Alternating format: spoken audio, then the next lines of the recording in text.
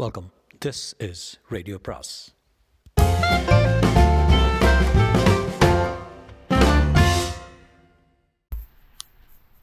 அனைவருக்கும் அன்பு வணக்கம். சுஜாதாவின் தீண்டும் இன்பம் பாகம் இருபத்தி ஒன்பது. குழந்தை அவர்கள் பத்திரமாக எடுத்துச் செல்வதை பார்த்தாள். அந்த கார் மூளை திரும்பும் வரை காத்திருந்தாள். அகல்யா இப்போ உனக்கு எங்கே போகணும்? குழந்தை தான் இல்லையே? எங்கள் வீட்டுக்கு வர்றியா? படிக்கிறதுக்கு சௌகரியமாக இருக்கும் என்றார் கிருத்திகாச்சாரி. இல்லை மேடம் நான் ஃப்ளாட்டுக்கு போயிடுறேன். அங்கே என் சொற்ப சாமான்கள் இருக்குது. பரீட்சை எழுத போகிறதானே தெரியல மேடம் எத்தனையோ விஷயம் மனசில் ஒட்டிக்கிட்டு இருக்கு. ஓடிக்கிட்டு இருக்கு. ஒரு கம்ப்யூட்டர் கிளாஸில் சேர்ந்து வச்சேன். அரைகுறையாக நிற்குது அங்கே போய் விசாரிக்கணும். அதுக்கு முன்னாடி ஒன்று ரெண்டு ஃபோன் பண்ணணும். நீ எப்போ வேணால் என்னை வந்து சந்திக்கலாம். என்ன உதவி வேணால் கேட்கலாம் என்றார் சாரி. மேடம் இனிமேல் நான் உங்ககிட்ட உதவிக்கு வரமாட்டேன்னு தோணுது. ஏன்? தப்பாக நினச்சிக்காதீங்க. நீங்களும் அந்த ப்ரோ லைஃப்க்கு என்ன மாதிரி பெண்களை அனுப்புறதுல உடந்தையோன்னு எனக்கு சந்தேகம் வந்துருச்சு. வாட் நான் சென்ஸ் என்று நெற்றியை சுருக்கினார் சாரி. இந்த சந்தேகம் ஆதாரமற்றதாக இருக்கலாம். இருந்தும் மனசில் கன்வின்ஸ் ஆகாத வரையில் உங்கள் கூட பழகிறதுல பாசாங்க தேவைப்படும். அதனால் அதனால் என்னம்மா நன்றி இல்லாமல் பேசுறியே? உனக்கு எத்தனை உதவி செய்திருக்கேன்? நீ முன்னுக்கு வந்து பெரிய ஐஏஎஸ் ஆஃபீஸராக வரணும்னு பிளான் போட்டு அதுக்காக அபாஷனுக்கு சுபாஷினி மேத்தா கிட்ட ஏற்பாடு பண்ணி பாரு அவள் சொல்லித்தான் கவுன்சிலிங்க்கு அனுப்புனது. என்னையே சந்தேகப்படுறிய சந்தேகம் ஆதரவற்றதாக இருக்கலாம். எனக்கு இன்னும் தெளிவாகலை. தெளிவு வந்தப்புறம் நான் மறுபடியும் உங்ககிட்ட வந்து தேவைப்பட்டால் மன்னிப்பு கேட்டுக்கிறேன். ரொம்ப பெரிய மனுஷி மாதிரி பேசுகிறியே அதுக்கான அனுபவம் இந்த சின்ன வயசுல கிடச்சிருச்சு மேடம். காலேஜ் வரப்போறியா இல்லையா? இல்லை. இனிமேல் Saraswathi arts and science college பக்கம் தலை வச்சு படுக்க மாட்டேன். மோசமான ஞாபகங்கள். படிப்பு? யோசிக்கிறேன் என்றாள். அகல்யா உன் மனநிலையை புரிஞ்சிக்க முடியுது ஆனால் எனக்கு கவலையாக இருக்குது ரொம்ப சினிக்கலாக போய் உன் நிஜமான நண்பர்களை கண்டுபிடிக்கிற தகுதியை எழுந்துடாத என் நண்பர்கள் யாருன்னு இப்போ தெளிவாகவே இருக்கேன் மேடம். அகல்யா தன் தந்தைக்கு ஃபோன் செய்தாள். Raj granites. Mister Ramasamy sorry ஆஃபீஸில் அவர் பேர் ராஜசேகர் இல்லையா? அவர் கூட பேசணுமே அவர் டாக்டர் குட்டி பேசுகிறான்னு சொல்லுங்கள் எந்த மீட்டிங்காக இருந்தாலும் வருவார். சற்று நேரம் சங்கீதத்துக்கு அப்புறம் என்ன குட்டே எனக்கு பணம் வேணும். எவ்வளவு? கொஞ்சம் அதிகமான தொகை ஒரு லட்சம் ரூபாய் தரேன். நான் ஒரு கண்டிஷன் நான் உங்களை வந்து பார்க்கணும் அவ்வளோதானே ஆமாம் பார்க்குறேன். எல்லாரையும் ஒரு முறை பார்த்துட்டு போகிறேன் எங்கே போகிற உங்களை எல்லாம் விட்டுட்டு. உங்கள் அம்மா என்னவோ உளர்னா நீ ப்ரெக்னெண்ட்டாக இருக்கிறதா? ஷி வாஸ் நாட் சோபர் ப்ரெக்னெண்ட்டாக இருந்து பிள்ளை பத்தாச்சு. நீ இப்போ குழந்தை வரப்போகிற இல்லை கொடுத்துட்டேன் அடாப்ஷனுக்கு குட்டே நீ எனக்கு கொடுக்கறது ரொம்ப பெரிய ஷாக்கு நீங்கள் என்னையும் அம்மாவையும் புறக்கணித்து ஓடுனதை விடவா பெரிய ஷாக்கு? என் கண் முன்னாலேயே ரெண்டு பேரும் என் குழந்தை மனசுக்கு எந்த விதத்துலையும் விதத்துலையும் புரியாமல் உச்சக்குரலில் நாலு வருஷம் சண்டை போட்டதை விடவா? என்னை அத்தனை சின்ன வயசில் கோர்ட்டுக்கு இழுத்ததை விடவா பெரிய ஷாக்கு? மிஸ்டர் ராமசாமி இந்த ஷாக் அந்த ஷாக்கினுடைய பேபி ஷாக். ஓகே. உங்கள் அம்மா மாதிரி நீயும் பேசுகிற பாருக்குட்டி இப்போ கூட லேட் இல்லை. உன் சந்தோஷக்காக உங்கள் அம்மாவை அந்த குடிகாரனை விட்டு வர சொல்லு. நான் புகழ் தரேன் அவளை திரும்ப ஏற்றுக்கிறேன் நீ சொல்லு. எனக்கு அதில் எந்தவித ஈடுபாடும் இல்லைப்பா. அது உங்கள் வாழ்க்கை உங்கள் நைட்மேர் நான் என் வாழ்க்கையை என் தீர்மானத்தைப்படி வாழறேன். மேலும் நீங்கள் சொல்கிறது ரொம்ப ரொம்ப லேட்டு பன்னிரெண்டு வருஷத்துக்கு முன்னாடி செய்திருக்க வேண்டிய காரியம். செக்ரட்டரிகிட்ட சொல்ல. பணமாக கொஞ்சமும் டிராஃப்டாக கொஞ்சம் கொடுக்க சொல்கிறேன் ஒரு கிரெடிட் கார்டு கொடுக்க சொல்கிறேன் செல்ஃபோன் வேணுமா? எனக்கு இன்வெஸ்டர்ஸ் மீட்டிங் இருக்கு. மும்பைக்கு ஒரு கேஸ் கேஸ் டூல் ப்ரெசன்டேஷன் இருக்கு. சரி போய் இன்னும் பணம் பண்ணுங்க. குட்டே ஐ ஸ்டில் லவ் யூ உன்னை நான் பார்த்தே ஆகணும். சரி இப்போவே இந்த கணமே பார்க்கணுமே. அம்மாவுக்கு ஃபோன் செய்தாள் என்னடி என்ன பண்ண குழந்தைய? கொடுத்துட்டேம்மா. நல்ல வேலை. யாருக்கு? பெரிய வெள்ளக்கார தம்பதிக்கு. அது இந்நேரம் சுவிட்சர்லாண்டு பறந்துட்டுருக்கோம். சந்தோஷமாக வாங்கிட்டு போனான் உன்னை விட சந்தோஷப்பட்டான். நான் தான் சொன்னேனே என் சங்கடத்தை. சொன்னேம்மா உங்ககிட்ட இருந்து நான் எதுவும் எதிர்பார்க்கல. எனக்கு ஒரே ஒரு ஒத்தாசை செய்யணும். என்ன? நாமெல்லாம் ஏதோ ஒரு யுகத்தில் சேர்ந்துடா போகிற ஒரு பச்சை புத்தகத்தில் என் சின்ன வயசு ஃபோட்டோ எல்லாம் ஒட்டியிருக்குமே. அது உங்ககிட்ட தானே இருக்குது ஆமாம் தேடி பார்த்தா கிடைக்கும். கிடச்சதுன்னா சொல்லு. அதில் ஒரு ஃபோட்டோ எனக்கு வேணும். நானும் நீ அப்பா ஒரே ஒரு ஃபோட்டோ தான் இருக்குது சரித்திர பிரசித்தி பெற்றது. ஆ அது இருக்கட்டும். செலவுக்கு உனக்கு பணம் வேணுமா? அப்பா நிறையவே கொடுக்குறாரு. என்னை வந்து பாப்பியா? ஃபோட்டோ தேடி வை வந்து பார்க்குறேன் ஃபோனை வைத்து விட்டு ரகு அவளுக்கு வாங்கி வைத்திருந்த பொட்டலத்தை பிடித்தாள் ரகு அவள் சாப்பிடுவதையும் பார்த்து கொண்டிருந்தாள் ஒன்று உன்னை கேட்கணுமே என்றான் கேளு. பெரியரப்பா அந்த குழந்தை கூட என்ன பேசினேன் பெரியவளான அப்புறம் என்னை வந்து பாருன்னு. எனக்கு என்னவோ அது கண்ணு மூலம் அப்படி சொன்ன மாதிரி இருந்துச்சு. ரகு அவள் கையை தொட்டான். தொட்டா பயமில்லை இல்லை என்று. தெரியும். எபனேசர் எங்கள் கூட பேசினார். அவர் ஏட்ரியன் ஒருத்தரை ஏட்ரியன் ஒருத்தரை கூட்டி வந்தார். நான் ஐஏஎஸில் சேர போகிறேன் பரவாயில்லையே. ஐஏஎஸ்னா இந்தியன் எய்ட்ஸ் அவேர்னஸ் சொசைட்டி அவங்க எய்ட்ஸ் விழிப்புணர்வுக்காக ஒரு பெரிய ஷோ சார்க் ஸ்டேடியத்தில் அமைக்கிறாங்களாம் ஷாருக் கான் அமிதாப் கமல் எல்லோரும் வர்றாங்க. அதில் நீ பாடுவியான்னு கேட்க சொன்னாங்க. பாடுறேன் நீ என்ன செய்ய போகிற பேச போகிறேன் ரகு என்ன ஒரு பியூட்டி பார்லர் கழிச்சிட்டு போறியா? எதுக்கு? பியூட்டி பார்லர் நுழைந்ததும் அந்த சப்பை மூஞ்சி பெண் என்னம்மா ஃபேஷியல் பண்ணிக்கணுமா? இல்லைங்க இது கிராப் மாதிரி வெட்டிடுங்க அவள் நீண்ட கூந்தலை கண்ணாடி முன்னால் மார்பில் தோள வைத்து அத்தனையுமா? ஆமாம் ஏம்மா நல்லா இருக்கேன் வளர்கிறதுக்கு நாளாகுமே. பாருங்க நான் சொல்கிறபடி செய்யுங்க. என் தலை இது. அவள் அதன் பின் பேசவில்லை. கத்திரிக்கோள் அநியாயமாக அவள் நீண்ட கூந்தலை துண்டிக்கப்பட்டு பாம்பு போல வெட்டியது. பார்லரிலிருந்து வெளியே வரும்போது ரகு எனக்கு ஒரு ஸ்கர்ட் ப்ளவுஸ் வாங்கணும் என்றான். ரகு முதலில் அவளை அடையாளம் கண்டுகொள்ளாமல் தடுமாறு யார்? அகலேவா? இந்த பேர் கூட பிடிக்கல. பேரை மாற்றுறதுக்கு விளம்பரம் போடுறதுக்கு ஏற்பாடு பண்ணணும். என்றான் என்ன பேர்? அசிந்தியான்னு மாற்ற போகிறேன் என்ன அர்த்தம்? கவலை இல்லாதவள் வருத்தம் இல்லாதவள்னு. ஒரு ஆ சரி. ஒரு லெட்டர் எழுதணும். பருவான்னு ஒரு அசாமிஸ் ஃப்ரெண்டு டெல்லியில் போகிறப்ப சந்தித்தேன் அவன் எப்போ வேணால் எழுதுன்னு சொல்லியிருக்கான். அவனுக்கு எழுதி போட்டுட்டு. என்ன? கவுஹாத்தி யூனிவர்சிட்டியில் போய் மேஸ் கம்யூனிகேஷன் பண்ண போகிறேன் வேற பேர் வேறு தலைமயிறு வேறு அடையாளம் வேறு ஊர் என்று கண் சுமிட்டி சிரித்தாள் அவள் ஃப்ளாட்டை அடைந்தபோது சுந்தரேச மாமா காத்திருந்தார். இங்கே அகல்யான்னு ஒரு பொண்ணு வந்ததா? நதீரான்னு ஒரு பொண்ணு சொன்னேன் நான் தான் மாமா. அகல்யாவது என்ன கஷ்டம் தலைமையில்? திருப்பதிக்கு போயிருந்தியா? இல்லை மாமா வேணும்ட்டு தான். உங்கள் அப்பா கேட்க சொன்னார். கம்ப்யூட்டர் கிளாஸ் போகிறதே இல்லையா நீ. பணம் கட்டி வேஸ்ட்டு தன்னால் எங்கே அலைஞ்சிட்டு இருந்த?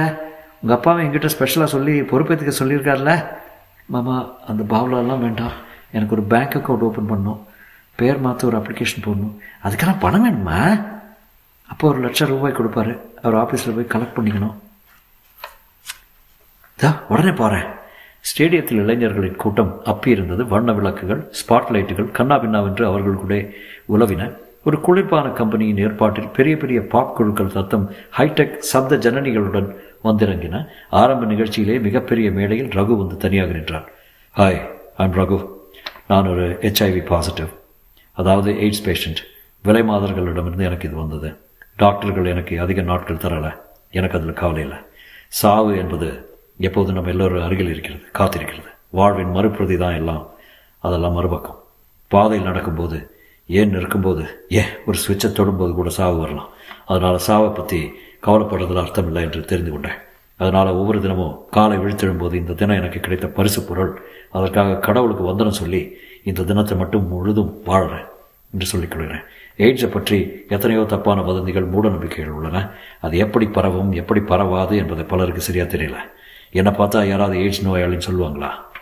அகல்யா விளிம்பில் காத்திருக்கும் போது ஹாய் அகல்யா! என்று ஒரு குரல். திரும்பி பார்த்தால் பிரமோத் என்ன ஞாபகம் இருக்கா? என்றான் பிரமோத். நீ யாரு? உன்னை எனக்கு தெரியாதே என்றான் அவன் முகம் சிறிதாக ரகு மேடையில் என்ன தொடுவதால் எய்ட்ஸ் வருமா? ஒரு நிமிஷம். அசந்தியா வரீங்களா? அருள் மே அவள் மேடைக்கு போனாள். This is அசிந்தியா. அசந்தியா எனக்கு எய்ட்ஸு. உனக்கு? எனக்கு இல்லை. என்னை தொடுவியா அசிந்தியா? இந்த ராட்சசனை மனிதன் வெள்ளத்தான் போகிறான் அந்த தினம் வரும் வர என் போன்றவர்கள் எல்லை எல்லை காவலர்களை எச்சரிக்கை பலகளை இருக்கிறோம். ரகு அசந்தியாவை அணைத்துக்கொள்ள சற்று தயங்கி கூட்டம் கைதட்டியது அவள் கருநீளத்தில் ஸ்கர்ட்டும் வெளிர் மஞ்சளில் பிளவுஸும் அணிந்து தேவதை போல இருந்தாள். காதணியில் ஸ்பாட்லைட் படபடவென்று அவ்வப்போது இளவரச இலவச வைரங்கள் வாரி வீசின. கன்னத்தில் பவுடருடன் கொஞ்சம் சரிகை மின்னியது. கழுத்தில் முதல் பட்டன் அலட்சியமாக திறக்கப்பட்டிருந்தது. ஆரவாரம் அடங்கியதும் மெல்ல கிட்டார் தொடர அவள் பாடினாள். ஒரு இதயம் உடையாமல் நிறுத்த முடிந்தால் நான் வாழ்வது வீணல்ல. ஒரு உயிரின் தவிப்பையோ ஒரு வலியையோ குறைக்க முடிந்தால் நான் வாழ்வது வீணல்ல. ஒரு வலியை குறைக்க முடிந்தால் ஏன்? சோர்ந்து விழும் ராவின் பறவையை கூட்டுக்கு மீட்க உதவினாலே நான் வாழ்வது வீணல்ல. விளக்குகள் அவள் மேல் விளையாடி தடவி கொடுக்க அசிந்தியா மற்றொரு எமிலி டிக்கின்சன் கவிதையை பாடினாள். Because I could not stop for death he kindly stop for me the carriage held but ourselves and immortality அசிந்தியாவை ஆரவாரம் போர்வையிட்டு அணைத்து கொண்டது. மற்றும்.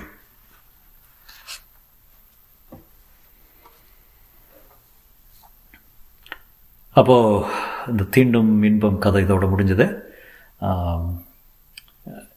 நல்லா தான் இருந்தது. இட்ஸ் இட்ஸ் டிஃப்ரெண்ட் சுஜாதா கதை மாதிரி தான் ப்ரெடி மச் என்ன சாப்டர்ஸ் எல்லாம் ரொம்ப ரொம்ப சின்னதாக இருந்தது. அதனால் உங்களுக்கு கொஞ்சம் இம் இம்பேஷண்ட்டாக இருந்திருப்பீங்கன்னு நினைக்கிறேன். எட்டு நிமிஷம் ஒம்பது நிமிஷம் தான் இருந்தது. Technically I could have done two chapters in one day but அது சரியாகாது. சுஜாதா செஞ்ச மாதிரி செய்யணும் இல்லையா? அதனால் I kept it small like அவர் பண்ண மாதிரி. ஐ டோன்ட் நோ எனக்கு ஒரு மிக்ஸ்டு ஃபீலிங் இந்த ஸ்டோரியில் first of all subject matter வந்து ரொம்ப strong subject matter I think இது அவருக்கு வந்து சொல்லணும் போல் இருந்தது போல். About teen pregnancy and AIDS awareness ரெண்டும் சொல்லணும் போல் இருந்தது போல். He want to say something about it அது மட்டும் இல்லை ஒரு இம்பார்ட்டன்ட் டாபிக் டச் பண்ணார். Not just teen pregnancy also about the concept of pro life முதல்ல அவர் சொல்லும்போது uh, யூனோ அபார்ஷன் ரொம்ப கொடுமையானது மாதிரி நீரா சொல்ல ஆரம்பிச்சு. இன்ஃபேக்ட் இட் இஸ் கொடுமையானது அல்லவா? I mean your your you know destroying life அது சொல்லிவிட்டு தென் அதுக்கப்புறம் வர்ற இன்னும் ப்ரோ லைஃப் பண்ணுற விஷயங்களை தத்தெடுத்துறதுக்காக பண்ணுறதும் you know how people can adjust to you know that kind of child birth முடிஞ்ச உடனே நடக் uh, யூனோ வளர்த்த முடியாமல் கஷ்டப்படுறதும் யூனோ அதோட அநியாயத்தையும் ஒரு மாதிரி சொல்லியிருக்காரு. சார் ரொம்ப டிஃபிகல்ட் சப்ஜெக்ட் ஆக்சுவலி ரொம்ப என்ன சொல்கிறது it's not easy to explain அது அது இந்த பர்டிகுலர் சப்ஜெக்ட் என்னை பொறுத்தவரையில் very easy to talk about it எல்லோரும் எஸ்பெஷலி அமெரிக்காவிலேருந்து ரொம்ப ஃபேவரட் டாபிக் ஆஃப் பீப்புள் எல்லோரும் பயங்கர ஜட்ஜ்மெண்ட்டெல்லாம் பேசுவாங்க. ஆனால் அது அது ஃபேஸ் பண்ணுறவங்களுக்கு தான் அது கஷ்டம் தெரியும். You know both cases both both pro life and uh, you know pro choice both uh, difficult topic. அது ஐம் ஐம் கிளாட் இட் அதை பற்றி பேசினாருங்கிறது I am happy about it ஆனால் கதைன்னு சொல்கிறதுக்கு அந்த அளவுக்கு பயங்கரமான கதை எல்லாம் ஒன்றும் கிடையாது especially I think the beginning part was ஒரு வெரி கன்காக்டடாக இருந்தது அந்த story line but he want to get to the subject ரொம்ப குயிக்காக சப்ஜெக்டுக்குள்ளே போகிறதுக்காக குயிக்காக ப்ரெக்னன்சியை யூனோ ஃபாஸ்ட் ஃபார்வர்டு ரொம்ப குயிக்காக ஸ்ரீதர் எல்லாம் கொண்டு விட்டு ரகுன்னு ஒரு கேரக்டர் ரஃபாக ஆரம்பித்து then how he turns around அப்படின்னு சொல்லியிருக்காரு. ஸோ இன்னும் uh, சுவாரஸ்யமாக தான் இருந்தது.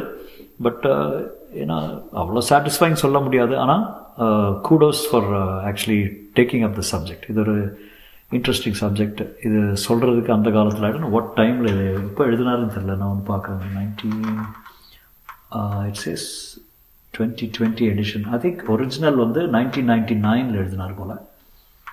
Uh, ஸோ அந்த டைமுக்கு I think it's pretty good topic இப்போல்லாம் அது ரொம்ப common subject so I would you know ஒரு செவன் அவுட் ஆஃப் டென் கொடுக்கலான்னு நினைக்கிறேன். Uh, யூனோ நல்லா uh, நல்ல ஸ்டோரி தான். ஏன்னா இதை விட இதை விட நல்ல ஸ்டோரிஸ் அவர் எழுதியிருக்காரு. But this is a subject matter is very very sensitive subject அதனால் கொஞ்சம் சுவாரஸ்யமாக இருந்தது. ஸோ எனிவே என்னோடய சுஜாதா மெட்டீரியல் இதோட முடிஞ்சிருச்சு. ஆக்சுவலி இது இந்த ஜீனோலாம் இருக்குது நான் படிக்கல அது. மீண்டும் ஜீனோ அந்த அந்த விஷயம்லாம் இருக்குது I am not so very interesting because அதான் அதோட காலம் முடிஞ்சது ஆக்சுவலி இன்னும் எயிட்டிஸில் it would have been interesting அதனால் நான் அது படிக்கலை. அப்புறம் இன்னொரு புக்கு இருக்குது கடவுள் வந்திருந்தார் அப்படின்னு ஒரு புக்கு நான் படிக்கலை அது பட் இட்ஸ் அவைலபிள் சம்வேர் நான் பார்த்தேன். பட் அது படிக்கணுமான்னு ஐடியா இல்லை எனக்கு. ஸோ கொஞ்சம் ஒரு ஒரு பாஸ் எடுத்துப்போம். ஒன் சுஜாதா? நாளைக்கே probably I do some short stories என்கிட்ட ஒரு ஜெயகாந்தன் ஷார்ட் ஸ்டோரிஸ் கிடச்சிருக்கு. So I probably start doing Jayakanthan little bit அதுக்கப்புறம் பார்க்கலாம் என்ன பண்ணுறதுன்னு ரொம்ப நன்றி இது கேட்டதுக்கு. You know everyday I keep doing this so சிலருக்கு பிடிக்கலாம் சிலருக்கு பிடிக்காமல் இருக்கலாம். But anyway I hope you enjoy I did because any time Sujatha writes I am a fan of him always has been good night everybody.